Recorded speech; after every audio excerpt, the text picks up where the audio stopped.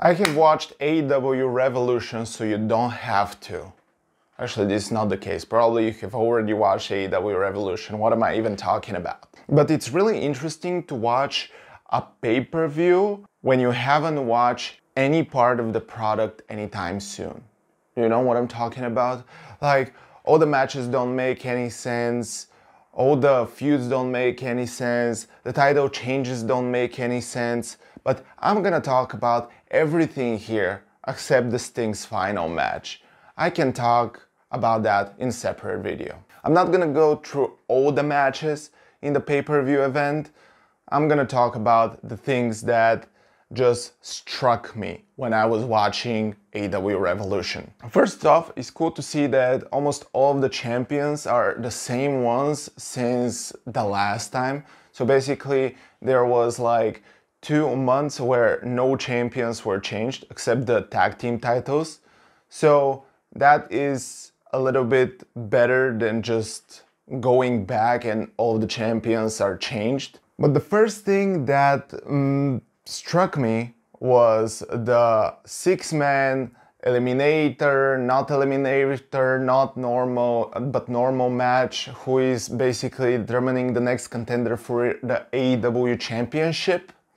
And I don't know what it was happening, but I was expecting for the past two months Wardlow to turn on Adam Cole, or the plan is different. The plan is for Wardlow to turn on Adam Cole whenever he wins the title.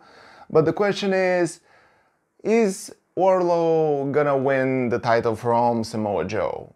Is, this is really the question we're asking here, in my opinion. In that contenders match, Wardlow with or without the Undisputed Kingdom looked like the only option to win that match. Another thing that struck me a little bit was the AEW Championship match that was between Samoa Joe, Hangman Adam Page, and Swerve Strickland.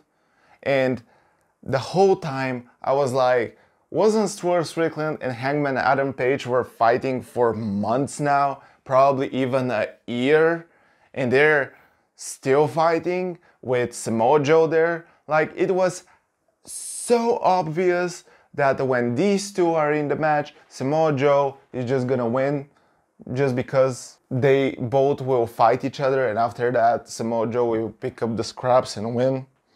Am I the only one? Another thing that struck me was Orange Cassidy was still the champion when I started watching the pay-per-view and at the end of the pay-per-view Roderick Strong picked the title? Are you sure about that? Like, I don't know anything more particular with Roderick Strong except his NXT days, but he's not as good as Orange Cassidy, my man.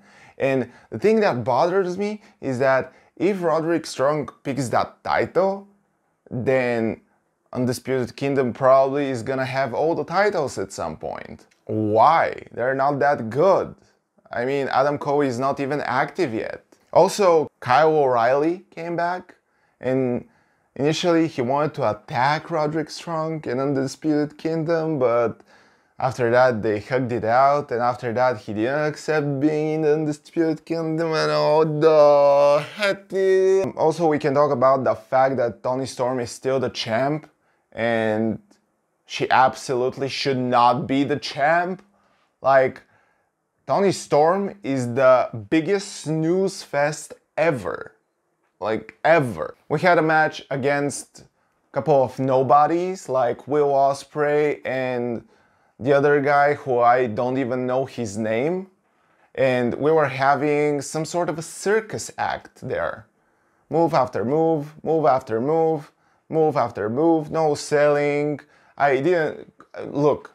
I was not skipping the match, and basically the whole match was like it was going on the double speed. Maybe for some people it's good. I'm just I just cannot look at anything else if I want to catch the match, and that's okay. If you don't look want me to look at something, just go do it. No worries. Break your body with, without people noticing even. No worries. Do you guys know that Eddie Kingston is still the champ? Which is scary. Like, Daniel Bryan is saying Eddie Kingston is a bum, And now we're having Daniel Bryan versus Eddie Kingston. And Daniel Bryan cannot beat Eddie Kingston. Whenever Daniel Bryan was his first match at that whole tournament, and he was beating him easily and clean, now he cannot. What the hell is going on? Why the titles are on Kingston? He cannot cut a promo. He cannot do anything. I'm probably better than him.